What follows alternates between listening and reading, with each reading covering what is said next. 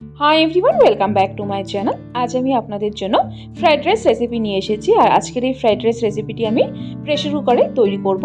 কোনো রকম ঝামেলা ছাড়া, না কোনো এক্সট্রা করে ভাত বানাতে হবে, না সবজি ভাজতে হবে এক্সট্রা করে। প্রেশার কুকারে দিয়ে একসাথে সব কিছু দিয়ে তৈরি করে নেব ফ্রাইড রাইস খেতে কিন্তু খুবই টেস্ট হবে। কোনো রকম টেস্ট বদলাবে না, একই টেস্ট আসবে। তো কীভাবে তৈরি করা হয় চলুন দেখে নেওয়া যাক আজকের এই ভিডিওটিতে ফ্রাইড রাইস তৈরি করার জন্য আগে চালটা ধুয়ে নিতে হবে। এখানে আমি নিয়েছি বাসমতি চাল। এখানে আমি তিন কাপ পরিমাণ বাসমতি চাল নিয়ে নিচ্ছি। চালটা বেশি সময় ভিজানোর প্রয়োজন নেই, শুধু ধুলেই হবে। দেখুন, তিন কাপ চাল নিয়ে নিয়েছি।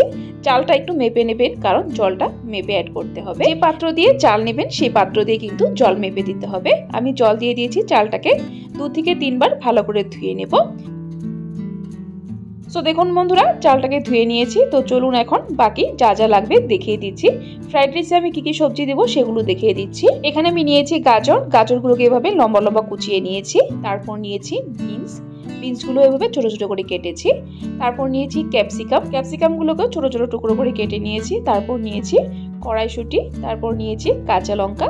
আর নিয়েছি আদা, আদাগুলোকে এভাবে কুচিয়ে নিয়েছি। ফ্রাইড রাইসে আপনারা পছন্দ অনুযায়ী যে কোনো সবজি অ্যাড করতে পারেন। আর এগুলোর মধ্যে যদি কিছু না থাকে, সেটা স্কিপ করতে পারেন। আর সবগুলো সবজি কিন্তু একই রকম করে কাটবেন, তবেই ফ্রাইড রাইসটা দেখতে ভালো হবে। আর নিয়েছি এখানে কাজু আর কিশমিশ। তো চলুন এখন রান্নাটা শুরু করা যাক। এখানে গ্যাসের ফ্লেম জ্বালিয়ে একটা বড় সাইজের প্রেসার কুকার বসিয়ে দিয়েছি। এর মধ্যে দিয়ে দিলাম টু টেবিল স্পুন পরিমাণ সাদা তেল। আর দিয়ে দিব এখানে ঘি। দুটো মিক্স করে করছি, আপনারা চাইলে শুধু ঘি দিয়েও করতে পারেন। এখানে থ্রি স্পুন পরিমাণের মতো ঘি দিয়ে দিলাম। ঘিটা ভালো করে গরম হয়ে গেলে তারপরে এর মধ্যে অ্যাড করব কিছু গোটা গরম মশলা। এখানে আমি নিয়েছি গোলমরিচ, দশ বারোটা, তারপর নিয়েছি লং দালচিনি আর নিয়েছি চার পাঁচটে এলাচি। গোটা গরম মশলাটাকে দশ থেকে পনেরো সেকেন্ড সময় নিয়ে ভালো করে ভেজে তারপর এর মধ্যে অ্যাড করে দেব কাজু আর কিশমিশ। কাজু কিশমিশটাকেও হালকা করে ভেজে নেব। সো দেখুন বন্ধুরা, কাজু আর কিশমিশটা ভালো করে ভেজে নিয়েছি। কাজু কিশমিশটা কিন্তু একদম হালকা করে ভাজবেন। তারপর এর মধ্যে অ্যাড করব কাঁচা লঙ্কার আদাটা। দেখুন কাঁচা লঙ্কা আদাটা দিয়ে দিয়েছি, একটু নেড়ে চেড়ে তারপর এর মধ্যে অ্যাড করে দেব বাকি সবজিগুলো। সো দেখুন বন্ধুরা, সম্পূর্ণ সবজি অ্যাড করে দিলাম। এখন সবজিগুলোকে একটু ভেজে নিতে হবে হালকা করে।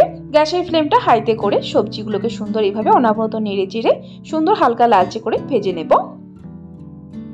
সো দেখুন বন্ধুরা, সবজিগুলো সুন্দর করে ভেজে নিয়েছি হালকা লালচে করে। এখন এর মধ্যে অ্যাড করে দেব ধুয়ে রাখা চালগুলো। দেখুন, সম্পূর্ণ চাল দিয়ে দিয়েছি। এখন একবার ভালো করে সব কিছু একসাথে নেড়ে চেড়ে নেব। তারপর এর মধ্যে অ্যাড করব নুন, স্বাদ মতো, আর দিয়ে দিব এক স্পুন পরিমাণ চিনি। চিনি দেওয়াটা একটু স্কিপ হয়ে গেছে, অবশ্যই দেবে নুন আর চিনিটাকে দিয়ে আবারও ভালো করে নেড়ে চেড়ে নেব। তারপর এর মধ্যে অ্যাড করে দেব জল। এখানে আমি তিন কাপ পরিমাণ চাল দিয়েছি। সেই কাপের পরিমাণে তিন কাপ আগে জল দেব। সো দেখুন বন্ধুরা, তিন কাপ জল দিয়ে দিলাম। একবার ভালো করে নেড়ে চেড়ে নেব। দেখুন, ভালো করে নেড়ে চেড়ে নিয়েছি। আর একটু জল লাগবে, কারণ চালটা একদম ভালো করে ডুবে আছে। তার উপরে একটু জল থাকতে হবে। এখানে আমি আর এক কাপ জল দিয়ে দিলাম। টোটাল চার কাপ জল দিয়ে দিলাম। জলের পরিমাণটা কিন্তু এটাই রাখবেন। বেশিও দেবেন না, কমও দেবেন না সেম পরিমাণে দেবেন। এখন প্রেশার কুকারে ঢাকনাটা লাগিয়ে দেব। তারপর হাই ফ্লেমে দুটো সিটি আনিয়ে নেব। ফিরে আসি দুটো সিটি আসার পর। সো দেখুন বন্ধুরা, একটা সিটি এসে গেছে, আবার আরেকটা এসে গেছে। এখন গ্যাসে ফ্লেম বন্ধ করে দিব।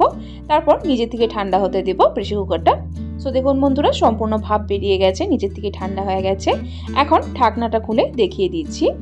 দেখুন কতটা সুন্দরভাবে ভাত সেদ্ধ হয়ে গেছে, একদম পারফেক্ট ঝরঝরে ফ্রাইড রাইস কিন্তু তৈরি হয়েছে। একবার এইভাবে হালকা হাতে, খুবই হালকা হাতে মিক্স করে নেব। তারপর গরম গরম সার্ভ করব। ফ্রাইড রাইসটা একদম পারফেক্টলি তৈরি হয়েছে, একদম ঝরঝরে। দেখুন প্লেটে তুলে দেখিয়ে দিচ্ছি, দেখুন। একদম পারফেক্ট একবার অবশ্যই এইভাবে ট্রাই করবেন ফ্রাইড রাইস খুবই কম ঝামেলা ছাড়া ঝটপট তৈরি হয়ে যায় সেম টেস্টেরই ফ্রাইড রাইস এই ফ্রাইড রাইসে চাইলে আপনারা গরম মশলাও অ্যাড করতে পারেন, গুঁড়ো গরম মশলা। আমি আর অ্যাড করছি না কারণ গোটা দেওয়া হয়েছে। তাতেই খুব সুন্দর একটা গন্ধ বেরিয়েছে গরম মশলার। সো বন্ধুরা, আজকের এই ছটপট তৈরি করে নেওয়া ফ্রাইড রাইসের রেসিপিটি আপনাদের কাছে কেমন লাগল অবশ্যই ট্রাই করবেন ট্রাই করে কমেন্ট বক্সে জানাবেন। যদি রেসিপিটি ভালো লেগে থাকে তাহলে কিন্তু একটা লাইক অবশ্যই দিয়ে দিবেন। আর ওই রকম রেসিপির আপডেট পাওয়ার জন্য আমার চ্যানেলটাকে সাবস্ক্রাইব করে দিবেন। সাবস্ক্রাইব করে পাশে থাকা বেল আইকনটা ক্লিক করে অল করে দিবেন। তাহলে আমার চ্যানেলে যখনই কোনো নতুন রেসিপি আসবে নোটিফিকেশন আপনাদের কাছে পৌঁছে যাবে। ভিডিওটি সম্পূর্ণ দেখার জন্য অসংখ্য ধন্যবাদ। ভালো থাকবেন সুস্থ থাকবেন।